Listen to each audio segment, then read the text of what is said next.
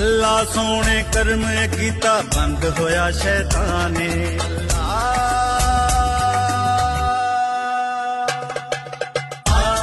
रमज़ान बखावा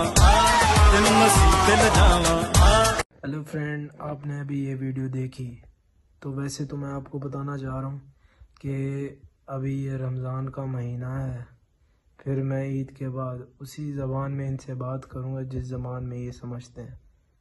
अबे भाई गाना और कानात को तुमने मिक्स कर दिया वो खुदा के बंदो क्या करते हो तुम लोग? क्या कहाँ से लाते हो टैलेंट बताओ तो सही हमें भी बताओ हम भी बेरोजगार हैं। हम भी कोई एक दो छा, छाप दें।